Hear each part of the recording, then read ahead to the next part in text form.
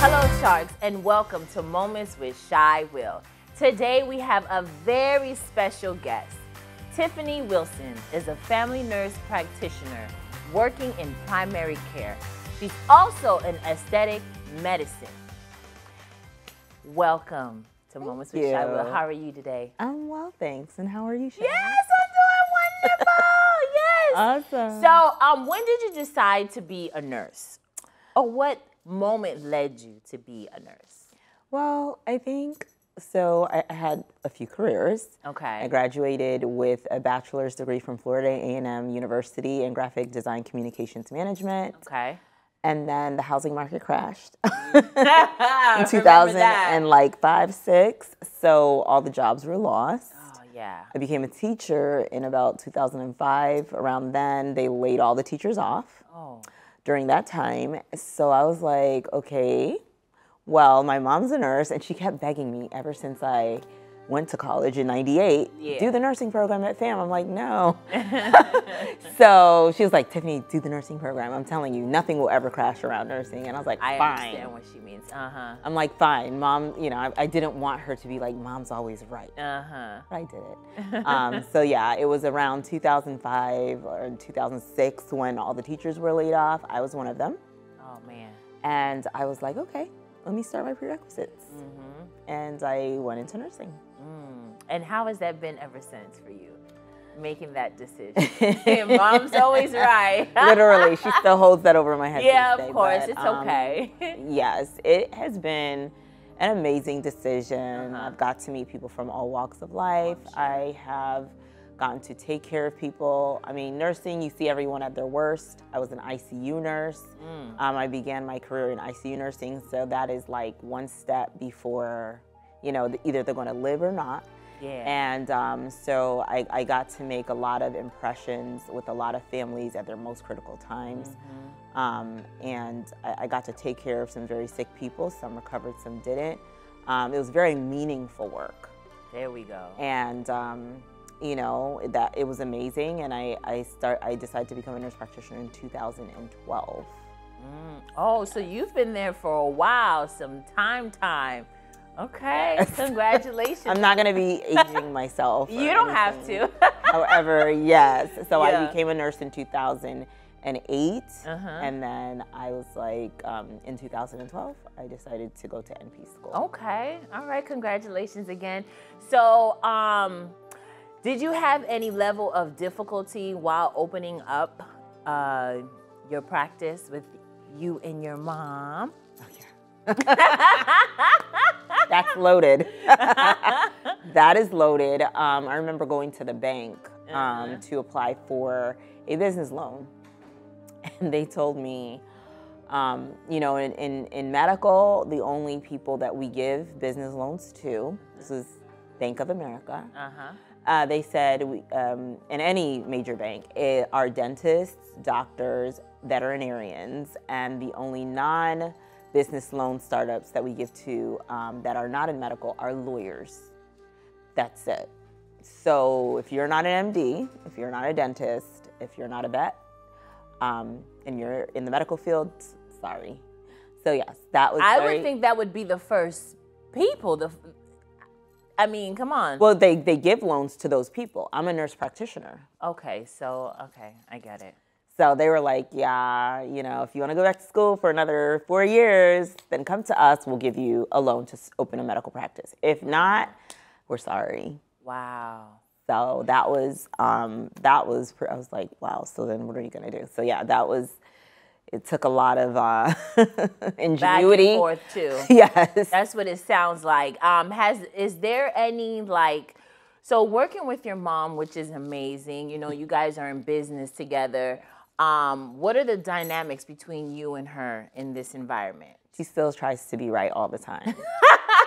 just like she acted like she was right when I went to nursing school and Yeah. school. So, you know, it's it's she's a ball of of of laughter and of just she's very she's a comedian. Yeah, that- I like that. Realize- least you got someone to make you laugh And she's- and laugh with. Yeah, Mm-hmm. and she's Jamaican, and on TikTok she goes viral Ooh. a lot because of just just, and she's not even trying. That's Right, right. So the patients love her. I mean, I love her. Um, our practice is a we see adults 18 Yes. and over. Okay. and um, basically we treat everyone, you know, almost like their family. And um, that's why a lot of patients love coming to us. You're not a number. We all know, we know everyone's first name on a first name basis. Yeah. All of our patients. So it's it's wonderful. It's dynamic working with her. Um, and yeah, we're the only two providers in our practice. Okay. Mm-hmm. And if somebody wanted to join the team with you guys, are you open to that? Well, right now we are open to. Um, we're we're actually uh, considering an MD to join our team, um, um, and we've known him, you know, a long time. So it's Yeah. it's it's more so. Um, if that that's what we are considering now. Okay. Currently. And so, what are you looking for in a person? An MD. I'm looking for. Um, we already have someone in mind. So, but but pretty much how he fits the criteria Okay. is. Um, we've known him a long time. He's Mm-hmm. more so like like a, like family, like extended family. Um, and he is comedic also. All his he reminds me of like a male version of my mom. Yeah, there we go. So, so basically, uh, like he has a great. His patients love him. He treats patients like people and not numbers. That's one of our main mottos. Like patients are people. You treat them like family. I like that you said Um, that. so That's important. It is important because if you see your family member going for a procedure, you're going to be all over that. You're going to be like, is Yeah. this done right? Is this done right? Is this done right? Um, and that's how we are with our patients. Mm-hmm. Um, where you know a lot of hospitals, um, when they see that they're patients of our practice, they're like they tell the patients. I've had patients come back to me and say, "Oh, right before I went into surgery." They're like, oh, um, the hospital that I was at, the doctor said, oh, you're, this is your primary. I'll send everything. You're in excellent hands. So uh, it's wonderful. Oh my God, it feels wonderful to, Yes. to see that or to even hear that that's our presence like that. That's definitely. All right. Sharks will be right back. You got me believing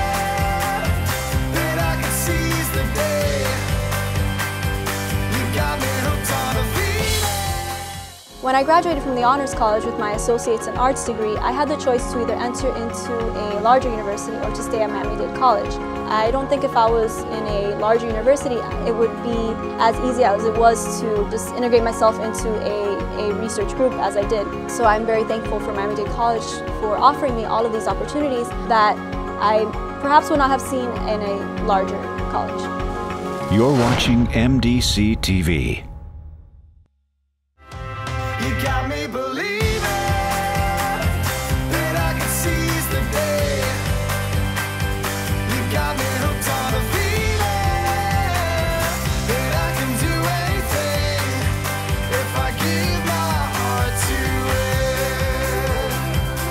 Welcome back, Sharks. You're tuned in with Moments with Shai Will. We have been speaking with Tiffany Wilson, is a family nurse practitioner working in primary care, also aesthetic medicine.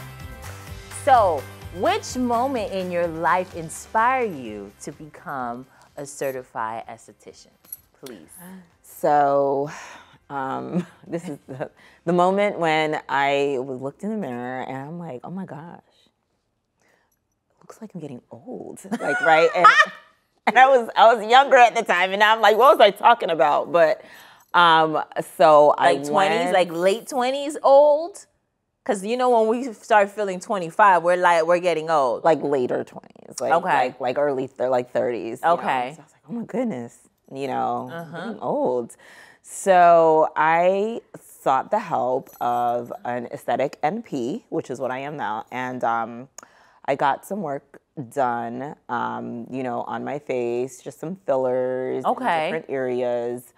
Um, And when I went home, you know, like I, I, I would look in the mirror and I'd, I'm like, no, put some more right here. Like I'm telling Okay. her, although I don't know anything actually about this. This is before you became certified. This is right, the moment this that is- lead up. Okay. right. Okay. So I was like, okay, put some more here, put some more here. And I'm like literally kind of directing the treatment. Uh huh. And I got home and I was like, you know, well, if she had put more here, here, here, I was not happy with my results. Oh. I was not happy with my results. I spent a lot of money. I'm sure. Aesthetic treatments A Lot of are, it's not painful to Okay. me, but it is To you. costly. to you. So it is pain there. Give me one second. Hold up. So it is pain because it's what is it like a needle, right? It's needle. Okay. Okay. Yeah, Ooh, it's girl. needles. I don't you know, they, they do topical, topical numbing. I don't have any know. tattoos for that particular reason. Oh my goodness. It's topical. If I hear that needle, I'm fainting. you're done. Go ahead. You're like yeah. Uh-huh. you're done. But um, so it was costly, and I was like, well, this doesn't look right. Uh-huh. So I'm gonna go get certified. Even if I have to get certified to inject myself, um, that's what I'm gonna do because I, I am one of those people like, I, I, it's hard for me to trust a stylist, people to do things for me because I will always go and redo it. Okay, I'm I, that person. I, I get it. That's just like me. If my friends do hair and makeup, they're not allowed to do my hair and makeup because we will fall out because you didn't do it correctly. There you go. I'm I so happy this was not a friend. No, because we I would've- can. Right, I can. I can stamp that for sure. you. So, like, what are the procedures that you specialize in? Bo- um, for aesthetic medicine, Botox, dermal fillers, Mm. um, Morpheus. Um, I specialize in weight loss. Morpheus would. Morpheus eight treatments. That's radio frequency microneedling or heated up microneedling. Uh-huh. So basically, it tones the like it pretty much gets rid of the fat and tightens the skin. Oh, so that would be like good for like my fat back because I got a lot of that. You know, that's.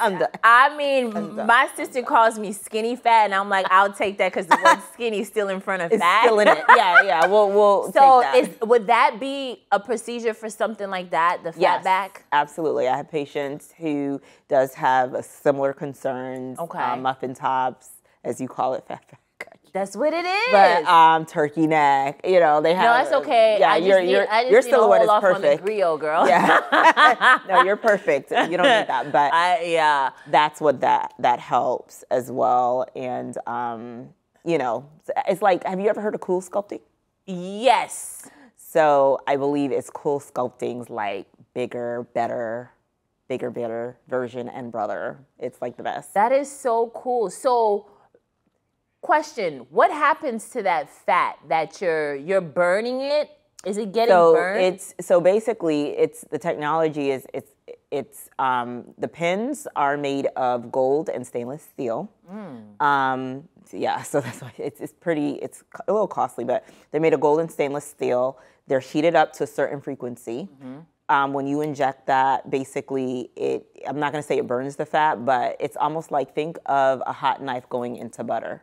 It's easy. so it melts. The- It's gonna- but where where does it go? Like where you're gonna it? process it out of your system. So When you we, go to we the tell you to drink a lot of water. you go to the restroom because drink a lot I've heard that before. I was always afraid to do it, and then and I said, well, where is the fat going? Where it, it has to come out. So I guess when you okay, Mm-hmm. Yeah, drink drink a lot of water, drink a lot of fluids, flush your system. So once you go to the restroom and everything, it's like, okay, I understand. That makes a lot of sense because I always wonder where it's going because even once before, um, I want someone was saying, oh, you know, if you're sweaty a lot under the arms, you know, maybe you should consider getting Botox or something. you can. And I'm like, well, where is that sweat going? That's what she couldn't answer me. I mean, we were just having a conversation. She's she's not Well, in I'll give medical you. I'll give you an answer. So- I can give you an answer on that. So when you Botox the glands or the sweat glands Uh-huh. in that area, what you're doing, Botox um, is a. It's pretty much paralyzes your. It's a paralytic. I don't like that word. It's a paralytic. okay. It's a paralytic. Okay. It's botulinum toxin. It is a toxin. It is a paralytic, um, and it's going to almost put those that area, those glands, to sleep. So they're not going to be producing as much. They will still It produce, was still produced, of but course. very minimal. Very minimal. And then they wake up in three or four months. Okay, and complications because I know everything has side effects. Let's be for real. They're very minimal. Very minimum. That with the, with the Botox, yes. Okay, very- so so so no irritation, no club foot. I don't know what that is, but club I, foot. I heard that. That's when the babies are born. Oh God. No, I'm just stating because I know everything have side effects, even course. relationships. You know. The- oh, those are the biggest side effects. yeah, exactly. We need disclaimers on those. Yeah, okay. so that's why I'm asking because, you know, our audience, our sharks want to know as well. And also, science is always creating something new. Is there any innovative procedures that are coming out that you would like to experience? Oh, there's always procedures. Is there coming out. is there a thing that you haven't tried yet that's new? Um, there is, um, I think, a procedure with Renuvia, or I think it's called Renuva. Uh-huh. It's um, it mimics fat, and Oh. um, basically you can do like butt filler or different kinds of filler with it. Um, it's that's not as new. It's just something I haven't tried yet. Okay. And I love, like, I, I like the results on that. I've seen, you know, we're all on Instagram and TikTok, so Yeah, I yeah, like yeah. I like the results on that. Um, I may try that in the future Uh-huh. or something, but I still offer like a lot of other things. I do threads, mini facelifts, right? Mini facelifts. With threads. Mhm. With threads. So what are they doing? This? Yeah, exactly. That sounds like exactly. So it's burns. liter it's oh, listen. You didn't realize beauty's pain? It is. Okay. then. I don't But know. but we make it comfortable. We numb you. We give you you some, numb someone. We yeah, that's what the dentists always say to me. And I'm like, yo, doc, I could still feel it. Like I didn't get enough. Yeah, that's literally my patients yesterday. Like, yeah, you got it. I'm, I'm, I'm not the one numbing type at the dentist. I'm the three triple numbing type. I'm like, oh, okay. got it. so yeah, All we, right. want we make you comfortable. Okay, got it. Yes, sharks, we'll be right back. Don't go anywhere. Got me believing that I can seize the day.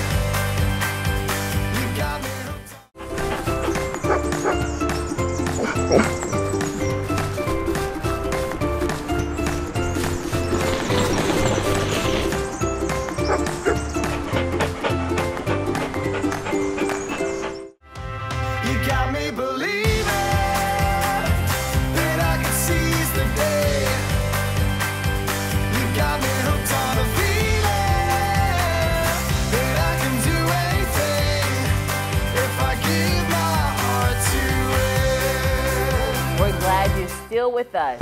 This is Moments with Shai Will. So now, let's have a little fun. It's time for self reflection. Okay? Okay. Don't be afraid. Okay. So tell me, what lessons have you learned in failure? The lessons that I've learned in failure is the only way you truly fail is if you give up. You will never win if you quit. And um, the only time you truly fail is if you never get up and try again. So uh, there's been there's been many failures, but all of those are lessons um, because I've learned something, and Yeah. those are lessons that will stay with me and will make me do better in the future. That's right. So I, I don't think of failure as um, the end. I think of it as the, a lesson and a new beginning in doing things a better way.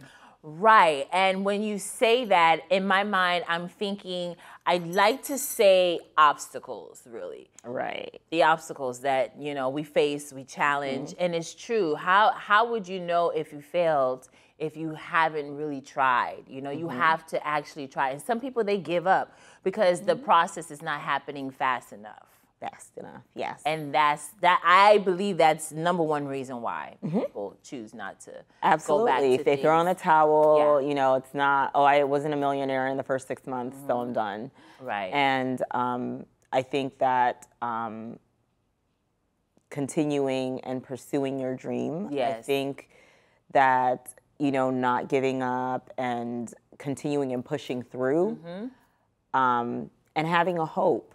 Yeah. that it will get better. you Yes, know? and that's what I always say to myself. Like, Yes. I mean, it's a struggle for me almost every day. I'm not gonna sit here and pretend that it's not. okay, there you go. Um, but I, you know, I, I I have to be true to myself. You know, I have to be realistic, and I make sure I am as much as I can possible. You know, and I do have my moments where I'm like, oh my god. I'm not saying I want to walk away, but I'm like. I have to remind myself why is it that I'm doing what I'm doing? Why did I choose this career? Does it best fit me? And guess what? It all comes back like, girl, you tripping. You better get up you better get up. you better get up. So sometimes you have to be your own motivation. You do. You have to be your push. You know, so I would preaching eat, to the choir. That's gonna make me start praising it. girl. yeah, because I would listen to my shows. I would watch my shows. Yeah. You know, this is where I know to make the improvements, the corrections. You know, it gives me, it feeds me great energy. You know, so I, I'm I'm all for it. Yeah, I, I really am. Mhm. And I and I like that answer that you said. Um, what matters to you in life, other than your family, of course, in your career? Is there anything else that matters to you? Impact. Leaving this world better than when I found it. Um, So you definitely want to leave a footprint somewhere. absolutely. Will you're in the health um, business? That that's and I've left a, I've left a lot of footprints even to, to date. Um, Even with the ICU patients, um, while they're taking their last breath, and if their family is in New York, I'm family. Yeah. I became family. I became the daughter. I became the mom. I became the family. Yeah. Um, and that's impactful. Yes. That left a footprint. I like that. Um, even in dealing with my patients now that are my patients that come to my practice, um, you know, advocating for them as much as I can. yeah. Um, some of them are elderly, some of them don't have family. Um, trying to find ingenious ways and different ways to get them if they, they need meals on wheels, just you know anything. Um, if I can be impactful and leave a good footprint in someone's life, make a mark, even in just one person's life, Yeah. that's that's good enough. for me. Yeah, that's that's good. And then like when you when you leave when you do, when you say something like that, how do you separate your personal life? Because you know, like being there for someone emotionally, I've had it before. Mm-hmm. You know, I could tell a tone of a voice, "Girl, what's wrong? You okay?" And here it go tumbling down, and I'm like, I wasn't ready for it. I wasn't expecting that. That was a loaded but question. I'm going to be a good friend. Absolutely. So separating that um, can become a bit difficult um, because, again, when people go to the doctor, when they go to the hospital, it's not usually for something good. No, They're not in the I best dread going to those See? places. Look at look at this. You see what I mean? So it's not usually, oh, I want to wake up today and go spend my time, sit in the waiting room for an hour, and go see the doctor and listen to bad news. Yeah, Not for that. right. So, um, you know, maintaining professionalism at all times, That's right. um, but still being human is a delicate balance. I, I have not found that yet, Okay, but you will in due time. but I hope I will. Yeah, you're, you're, you're working your way there, and that's a good thing. Mm-hmm. Is there any words of encouragement that you can say to the Sharks? Okay. Yes. I can say that if you woke up this morning, God still has a purpose and a plan for your life. Mm-hmm. So, meaning that if you haven't found your passion yet or your purpose yet, if you woke up this morning, it's on its way. That's right. Yeah, you have to be, you have to be determined. Like I said, you have to be your own push. You have to be your own cheerleader. Everyone is everything. Girl. I know, and you know that that that's the thing for me, and you know, being consistent in what you do, and like you know, I know you and I both have two different um, careers, but at the same time, for me, I'm I'm living that career every moment, even in my personal time, grocery store, the mall. hey, course. how you doing? I'm Shai Will. I, it doesn't stop. Yeah, where does that, where's the separation? Nope, it doesn't There's no stop. I'm still I'm, I'm still that woman that's still doing it because you know there's no time to stop. I'm not where I want to be, be. Mm-hmm. yet, you know, so I'm still working towards it. So that's what helps me be consistent. Mm-hmm. You know, like I'm not saying there's no days off. There's just, you know, there's Very no few days off. I'll just put that out. Yeah, exactly, exactly. That's you how know? it is with with building a medical practice grassroots. I didn't inherit 5,000 patients. Mm.